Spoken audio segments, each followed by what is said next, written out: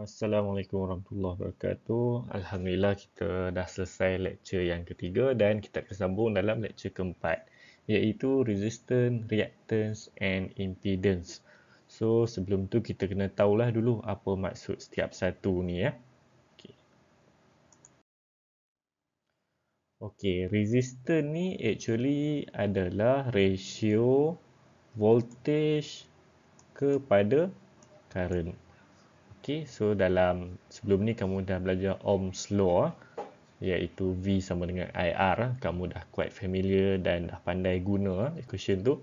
Okay, uh, dalam AC uh, source ni, AC circuit, okay, ratio of voltage to current depends on frequency and phase difference, okay, atau phase angle of the supply, okay.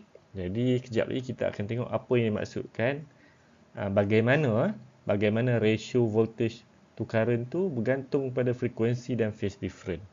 Okay. Since resistor is not affected by frequency, therefore value of resistance is constant at any frequency. Jadi kita dah belajar AC source ni, current dan voltage dia ada frekuensi.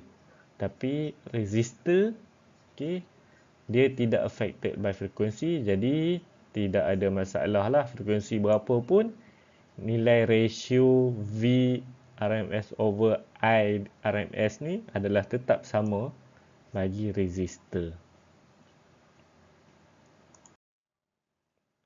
Okey, apa yang dimaksudkan dengan reactance? Okey. Reactance is the measure of the opposition to the flow of alternating current caused by inductance and capacitance in a circuit rather than by a resistance. Okey, senang cerita dalam masa mudahnya. Okey, induktor dan kapasitor kedua-duanya boleh me menyebabkan atau oppose flow of charge. Okey, induktor dan kapasitor dia oppose flow of charge. Okey. So dia juga dikenali sebagai effective resistance lah. Okay, reactance dikenali juga sebagai effective resist, resistance lah, effective resistance lah. Jadi unit dia adalah dalam unit ohms. Okay, sebagaimana kita sebutkan tadi, okay, AC ni dia ada frekuensi ya. Jadi reactance punya value dia varies, berubah-ubah with frequency dan phase different.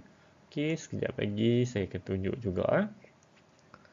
Jadi untuk kapasitor kita sebut dia sebagai capacitive reactance. Maksud dia kapasitor ni bila dia oppose value of current, okey, berapa nilai oppose tu, okey, reactance dia.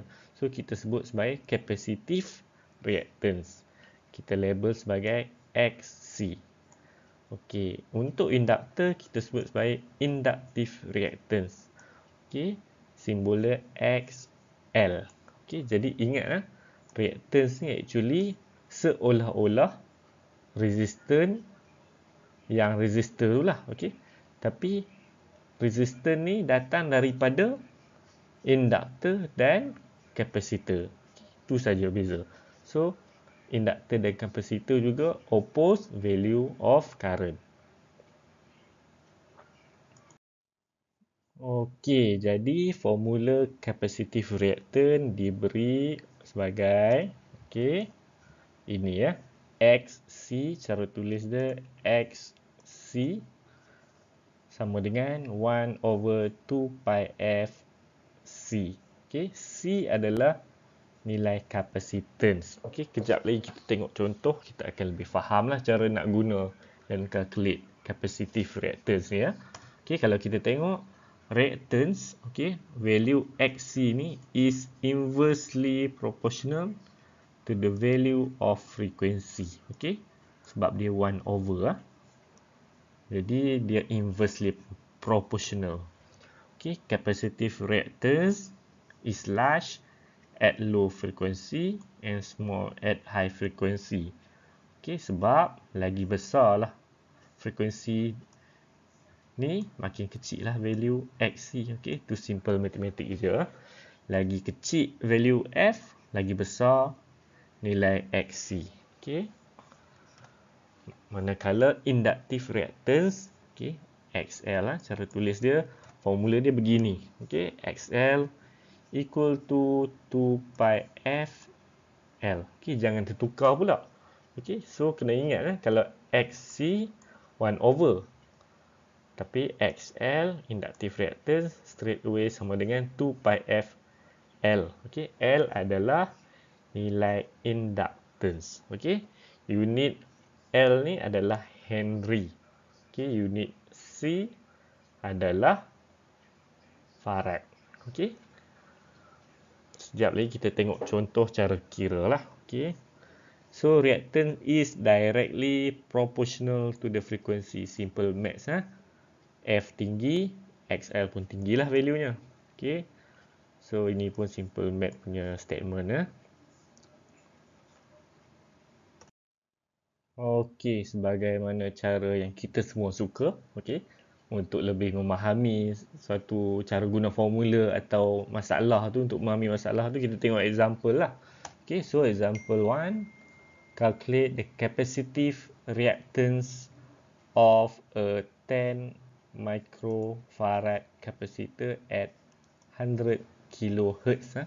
so dia bagi frekuensi dan dia bagi nilai capacitance capacitor tu so 10 microfarad ha? simbol F ni ya so macam mana nak buat so pakai formula yang kita tengok tadi so formula ni plug in saja value F sama dengan 100 kilohertz. Okey. Ah, dan nilai C capacitance adalah 10 micro ah 10 kuasa negatif 6 so dapatlah 0.159 ohms. Okey. Unit sama macam resistor yang diberikan oleh resistor ah. Sekarang example 2 kita tengok calculate the inductive reactance of a 10 millihenry. Okay, milli ya. Millihenry inductor at 50 hertz. Okay, uh, yang penting sini careful lah. Kadang-kadang unit tu dia bagi henry saja. Kadang-kadang unit dia milli. Okay, jadi careful lah. Uh, kalau lah dia bagi micro ke nano ke, jadi careful lah. Okay, then cara solve dia pakai formula tadi. Plug in value saja substitute saja f sama dengan uh, 50 Hz L adalah 10 millihenry okey. Calculate dapat 3.14 ohms. Okey jadi ini semua sejenis resistor lah cuma bila resistor tu uh, diberikan oleh kapasitor dan induktor maka dia jadi reactance. So kita sebut berbeza istilah lah sebab reactance ni bergantung kepada nilai frekuensi dan phase angle. Okey, apa maksud phase angle? Kejap lagi kita tengok. Okey. Uh, kamu faham phase angle cuma dalam konteks ni saja uh, kenapa dia penting ya phase angle phase constant ni Okay. Is there any relationship between current, voltage and reactant? Okay, ada kaitan tak? Macam kalau Ohm's law tu, kita tahu V sama dengan I R. Okay. So, kalau uh, reactance ni macam mana? Okay. Untuk DC, kita tahu R adalah ratio voltage kepada I. Okay. Untuk AC, okay, lebih kurang sama. Cuma reactance sama dengan ratio V RMS equal uh, divide by I RMS. Okay, kenapa kita guna RMS value? Sebab RMS value ni dia effective values. Ha? Dalam lecture pertama saya, kita nak guna effective values. Okey, jadi kita pakailah IRMS, okey, dan VRMS. Okay. Is there other way to find out value of X? Okay. Ada tak? Okay, ada. Ha? Tadi kita pakai X sama dengan VRMS. Sekarang kita pakai X sama dengan V0 over I0. Okay. Boleh pakai relationship ni. Okay. Kamu ingat kan apa tu V0 dan I0. Okay. So, V0 adalah peak voltage atau amplitude of voltage. Ya. Manakala I0 adalah peak current atau amplitude of current.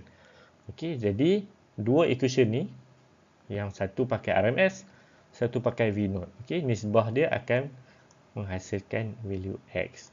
Okey jadi soalan kadang-kadang taklah straightforward. Okey maybe saya bagi nilai V saya bagi nilai X. Ha, kamu carilah nilai I I0 ha, so samalah macam uh, VRMS IRMS tadi ya. Saya akan bagi salah satu. Ha, kamu pusing-pusinglah equation ni. Okey So cara paling mudah lah nak faham tengok example. Okay, dalam example ni boleh baca uh, baca dalam nota teliti betul-betul lah. Okay. Semua saya nak roughly explain lah. Dia bagi equation lah. So equation ni sign uh, general equation lah untuk voltage. So 325 adalah peak voltage lah, amplitude. Okay. L adalah inductance. So 2.2 Henry unit dia. So determine value of maximum and RMS current. Okay, jadi pakailah value uh, equation yang kita bincang sebentar tadi tu. Yang uh, V0 dengan VRMS tu. Okay, so mula-mula macam mana nak dapatkan? Kita tengok step by step lah cara nak solve dia. Okay, mula-mula cari frekuensi dulu. Sebab apa? Dengan frekuensi inilah kita boleh cari kejap lagi XL, reactance of L. Okay. So, V0 diberi 325. And then, inductive reactance, kita pakai formula ni. Okay. F kita dah cari tadi. Okay, 60 Hz. Dapatlah 829.4 ohms. So, inductive reactance. So, maximum current pakailah formula tadi. Okey, dapat 0.39 ampere. RMS current, okey, dapatlah. Okey, pakai formula yang dua slide sebelum tadi ya. Pakai formula ni dapatlah 0.28. Okey, macam saya kata taklah straightforward equation tu. Kita pusing-pusing lah. Okey. Then atau since kita dah ada I note tadi, okey, maximum current kita dah tak perlulah pakai equation ni. Kita boleh pakai equation yang kita belajar first day lecture which is this equation. Oh sorry typo ah. Ini adalah i rms okey yang ni bukan ni ya. Ni adalah i rms okey is there any phasor diagram to represent the resistance and reactance Okay, bila dah soalan tanya macam ni, ada slide ni maksud dia adalah phasor, phasor diagram dia. Okay, sebab tu uh, saya bincang dengan detail lah pada lecture 2 dan lecture 3 pasal cara lukis phasor diagram, cara nak mengenal uh, macam mana lukis phasor diagram tu apa kaitan atas sinusoidal wave dengan phasor diagram tu, okay? Sebab dia sangat penting dalam bab ni ya. Okay, jom kita tengok ah.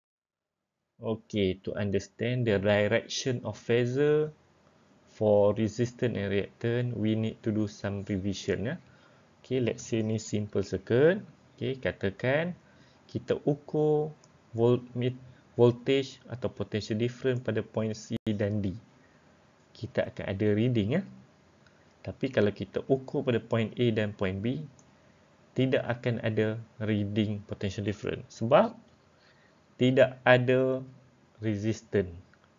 Bila tidak ada uh, opposition to the flow of charge tidak akan wujud uh, potential difference.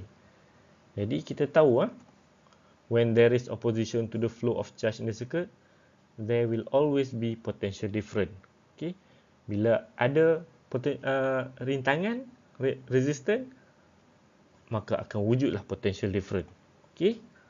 Maksud dia kalaulah ada bacaan potential different so kita tahu okey situ ada resistance. Okey jadi dia macam saling saling memberitahu lah. Okey. Kalau kita tengok oh ada bacaan potential potential different so kita tahu ah situ ada resistance.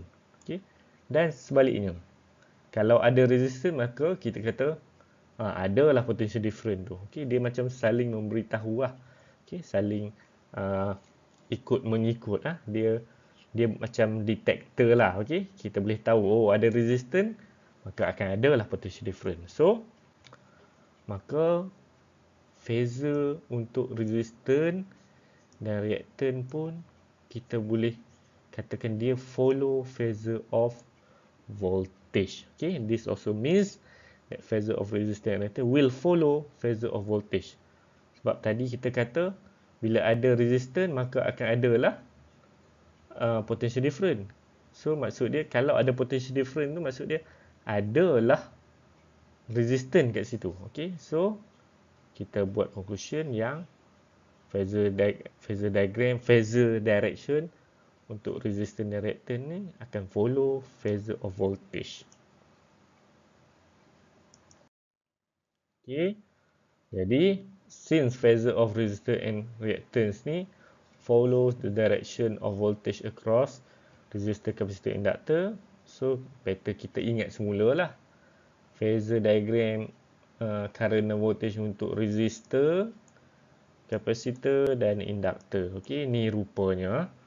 Ok untuk uh, phasor diagram untuk phasor lah. Phasor untuk resistor VR dia potential difference VR dia adalah di sini ya, atas faksi X. Untuk kapasitor, dia menghala ke bawah. Untuk induktor, dia menghala ke atas. Okey. Ini adalah phasor untuk voltage ya. Bagi induktor, kapasitor dan resistor. Semua arah berbeza. Ha? Jadi, apa kita nak buat? Kita... Okey, jadi sebagaimana yang kita dah bincang tadi, yang mana kita katakan uh, di mana uh, di mana ada potential different uh, maka di situlah ada resistance. Di mana ada resistance uh, maka situ akan ada potential different. Okey jadi since dia saling ikut mengikut maka kita katakan direction inductive reactance adalah mengikut arah voltage across inductor. Okey iaitu positif y axis lah maka dan uh, capacitive reactant mengikut arah voltage bagi graf uh, voltage across uh, capacitor. Okey? Jadi untuk resistor ke arah sini. Okey? Dia mengikut dia macam kopi lah. Kopi arah uh, voltage across inductor capacitor dan resistor. So phasor diagram tu uh, macam kopi. Okey? Cuma kita tukarlah. Ini inductive reactance yang ni capacitive reactance, ini resistance. Okey, so ini arah dia. Jadi ingat eh, tadi kenapa saya katakan reactance ni dia bergantung pada frekuensi dan phase angle. Okey, inilah sebabnya, okey. Tengok ah. Reactance untuk inductor dia menghala ke atas. So phase angle dia menghala 90 degrees ah. Untuk capacitive reactance ke bawah ah. So that's why the value uh, uh, reactance ni dia bergantung bukan sahaja kepada frekuensi bahkan kepada phase angle juga. Dan knowledge ni okey arah atas dan bawah ni atas bawah ni akan digunakan dalam lecture kelima onward. Okey jadi arah ni penting untuk kita tahulah. Untuk kita calculate lepas ni uh, calculate current and everything ya.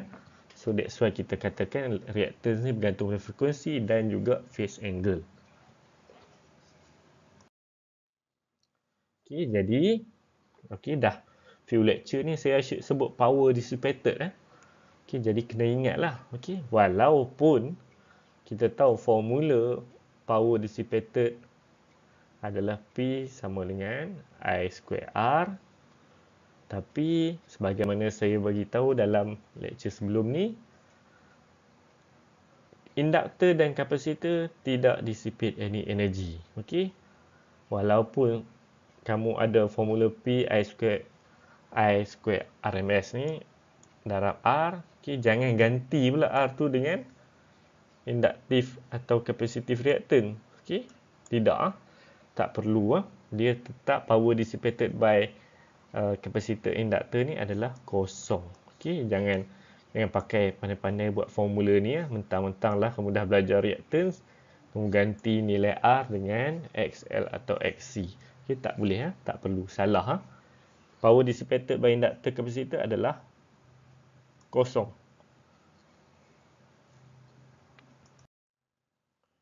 Okay, next subtopic. Okay, actually saya tak nak uh, go detail lagi dalam bab ni. Ya. Jadi untuk quiz minggu depan tidak akan cover uh, impedance. Tapi good for you to know lah.